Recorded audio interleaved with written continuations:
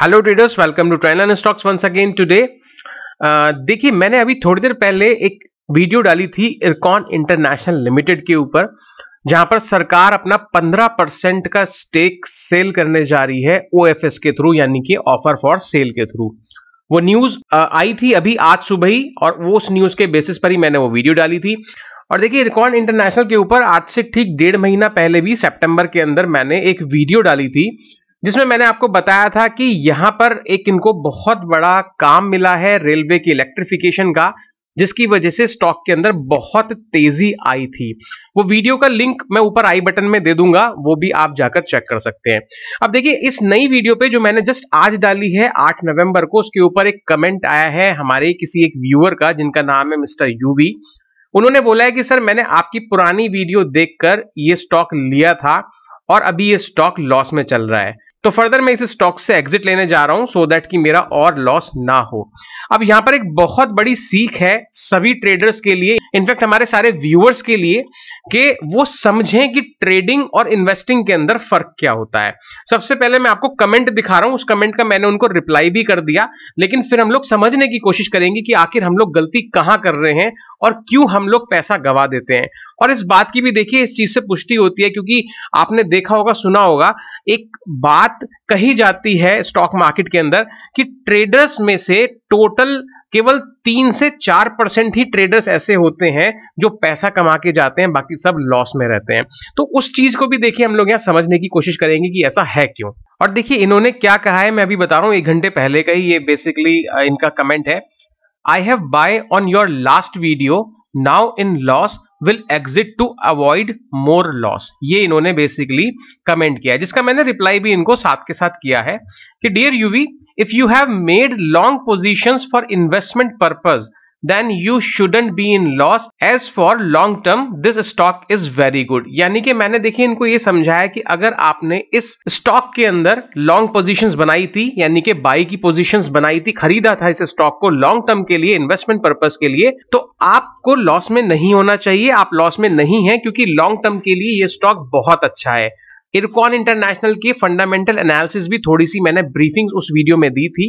जिसके अंदर देखिए ये भी बताया था मैंने कि एक सरकारी कंपनी है और देखिए सरकार का 90 परसेंट शेयर है इस कंपनी के अंदर और बहुत ही शानदार तरीके से इसने अभी तक परफॉर्म करके दिखाया है आगे मैंने क्या लिखा है देखिए इसमें but if your perspective was only trading then you should have to put clear stop loss In every video for trading, I have clearly mentioned to put stop loss if anyone want to trade only. Traders should follow this rule of keeping strict stop loss while taking any long or short positions. और देखिए, इसके बाद मैंने इनसे क्या कहा कि अगर आपका जो पर्सपेक्टिव था, जो सोच थी सिर्फ़ और सिर्फ़ ट्रेडिंग की थी तो आपको स्टॉप लॉस रखना चाहिए था, जो एक ट्रेडर के लिए बहुत ज़्यादा मैंडेटरी कंडीशन होती है और हर एक वीडियो में मैं क्लियरली मेंशन करता हूँ, जिसमें मैं ट्रेडिंग का कॉल देता हूँ कि आपको इसके अंदर अगर ट्रेडिंग करनी है तो ये लेवल्स होने चाहिए, यहाँ स्टॉप लॉस होना चाहिए और ये टारगेट होना चाहिए और ट्रेडर्स को ये रूल बिल्कुल बिना किसी हिचक के, बिना किसी हेसिटेशन के अपनाना चाहिए कि जब भी ट्रेडिंग ले रहे हैं, चाहे कैश मार्केट में, चाहे एफ़ एंड ओ में, आपको अपना स्टॉप लॉस लगा के चलना है। चाहे आपने लॉन्ग की पोजिशन बनाई हो, चाहे आपने शॉर्ट की पोजिशन बनाई हो। ये बेसिकली मैंने इनको रिप्लाई किया है। देखिए, पहले तो मैं आपको बता देता हूँ कि उस वीडियो के अंदर मैंने सजेशन दिया था कि आपको इस स्टॉक को लंबे समय के लिए होल्ड करना चाहिए, अपने पोर्टफोलियो में, ना ही ट्रेडिंग के लिए करना चाहिए। ये मैंने क्लियरली वहाँ बोल रखा है, आप वो वीडियो जाकर चेक कर सकते हैं। उसके बाद देखिए चार्ट पर समझाता हूँ कि उस वक्त जब मैं वीडियो बना रहा था लास्ट वीडियो एक से डेढ़ महीना पहले, उस वक्त क्या उसकी पोजीशन थी और आज उसकी क्या पोजीशन है। देखिए, ये है इरकॉन इंटरनेशनल लिमिटेड का इंट्राडे चार्ट और मैं आपको बता देता हूँ, अभी जो इसकी क्लोजिंग है, वो seventy seven rupees ninety five पैसे पर है, यानी कि लगभग सेवेंटी एट रुपीज़ के आसपास इसने क्लोजिंग दी है लास्ट रीडिंग सेशन में फ्राइडे को। और जो मैंने वीडियो बनाई थी, उसका मैं क्लियरली आपको बता देता हूँ, वो वीडियो बनाई थी मैंने 18 सितंबर को जब ये डोजी कैंडल की फॉर्मेशन इस स्टॉक के अंदर हुई थी। ये आप देखिए क्लियरली यहाँ पर आप डोजी कैंडल देखेंगे। और इस स्टॉक ने देखिए यहाँ से गिरावट दिखानी शुरू करी थी मिड ऑफ़ अगस्त के बाद में। ये नीचे तक आया, किन लेवल्स तक मैं आपको बता देता हूँ। 10 सितंबर तक ये नीचे आया। इसके जो लेवल्स थे, देखिए वो थे लगभग अस्सी रुपए के। और उसके बाद इसने फिर एक शार्प ऊपर की तरफ़ राइज दिखाया एंड फिर वहाँ से गिरावट शुरू करी। तो मैंने जो वीडियो बनाई थी, देखिए, इस डोजी कैंडल पे बनाई थी और इस डोजी कैंडल से ठीक एक दिन पहले यहाँ पर न्यूज़ आई थी कि इस कंपनी को एक बड़ा काम मिला है रेलवे की इलेक्ट्रिफिकेशन का, जिसको मार्केट ने डिस्काउंट किया है। इसकी वजह से यहाँ पर इतनी बड़ी तेज़ी देखी गई है इन दो दिनों के अंदर।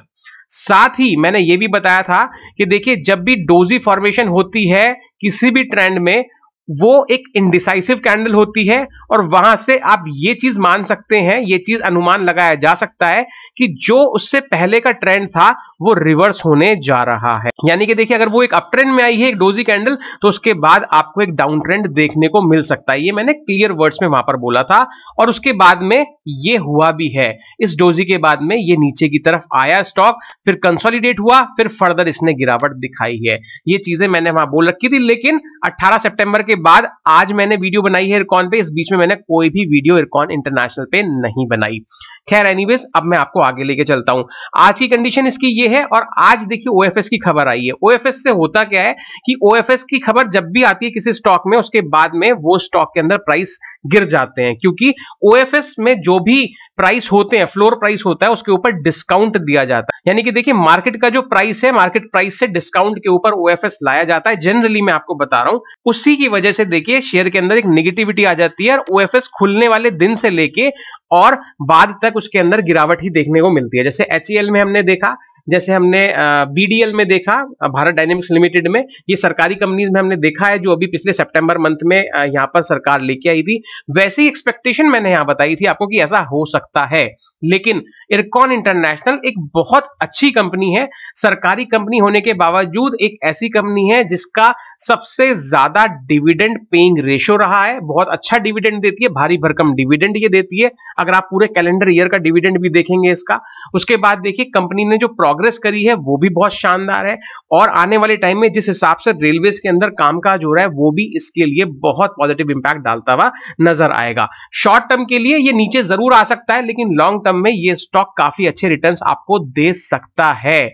ये बात मैंने तब भी कही थी और ये बात मैं अभी भी बोलता हूँ। तो हमें एक चीज़ के ऊपर गांठ बाँध लेनी चाहिए कि अगर हम ट्रेडिंग कर रहे हैं तो ट्रेडिंग का बिल्कुल माइंडसेट अलग होता है और अगर हम इन्वेस्टिंग कर रहे हैं तो इन्वेस्टिंग का माइंडसेट अलग होता है। अगर आप इन्वेस्टमेंट के हिसाब से इन लेवल्स के ऊपर अपने पोर्टफोलियो में स्टॉक को जगह देते हैं तो वो आपको आगे चल के काफ़ी अच्छे रिटर्न्स दे सकता है। यानी कि आने वाले टाइम में लंबे टाइम की मैंने बात करी थी, कम से कम एक से डेढ़ साल का परस्पेक्टिव मैंने लिया था। आज अभी केवल डेढ़ महीना हुआ है और अभी बहुत ज़्यादा अनसर्टेनिटी मार्केट में अभी भी है। हम लोग पूरी तरीके से कोविड इंपैक्ट से बाहर नहीं निकले हैं। तो इन्वेस्टमेंट का मतलब होता है आपको लंबे टाइम के लिए टिके रहना है स्टॉक में और उसके बाद रिटर्न एक्सपेक्ट करने हैं, ना कि शॉर्ट टर्म के अंदर। और शॉर्ट टर्म के लिए अगर आप कोई भी ट्रेड ले रहे हैं और विदाउट स्टॉप लॉस ले रहे हैं तो वो बिल्कुल इस तरीके से होगा कि आपको तैरना नहीं आता, लेकिन आप फिर भी स्विमिंग पूल में कूद पड़े हैं, जो कि बहुत गहरा है।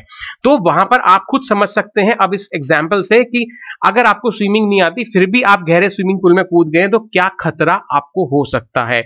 सेम कंडीशन स्टॉक मार्केट में है। अगर देखिए ट्रेडिंग अगर नहीं आती तो हमें ट्रेडिंग को सीखना पड़ता है और ट्रेडिंग के सीखते वक्त हमें यह चीज़ ज़रूर समझाई जाती है कि technical indicators plus experience plus past जो हिस्ट्री रही है उसकी, उसको ध्यान में लेते हुए हमें कोई ट्रेड पोजीशंस बनानी होती हैं और साथ ही स्टॉप लॉस हर कंडीशन में लगाना होता है। इसीलिए ज़्यादातर ट्रेडर्स फेल हो जाते हैं लॉस में रहते हैं और केवल ढाई से तीन परसेंट ही ट्रेडर्स होते हैं जो मुनाफा कमा के ले जाते हैं। तो मेरे ख्याल से ये वीडियो सेल्फ एक्सप्लेनेटरी है। अगर आपने इसको पूरा एंड तक ज़रूर सुना है तो मेरे हिसाब से अब आप थोड़ा सा इससे ज़रूर आ, सीख लेंगे कि हमें हमेशा स्टॉप लॉस के साथ ही ट्रेडिंग करनी चाहिए। तो ये मेरे ख्याल से यूवीजी आपको जवाब बिल्कुल मिल गया होगा। अगर आप लॉन्ग टर्म के लिए इस स्टॉक में बने हुए तो आप बिल्कुल इसके अंदर होल्ड करके रखिए अपनी पोजिशन को। और अगर आपने शॉर्ट टर्म के लिए लिया था तो अब मार्केट की कंडीशंस को देखते हुए अपने अकॉर्डिंग बिल्कुल इसके अंदर निर्णय लें और अगर फिर भी कोई कंफ्यूजन रहे तो अपने फाइनेंशियल एडवाइजर की राय ज़रूर लें, तभी कोई पोजीशंस बनाएँ किसी स्टॉक में या फिर एग्जिट करें। तो मिलूँगा आपसे एक नई वीडियो में नए स्टॉक के साथ, तब तक के लिए नमस्कार थैंक यू जय हिंद।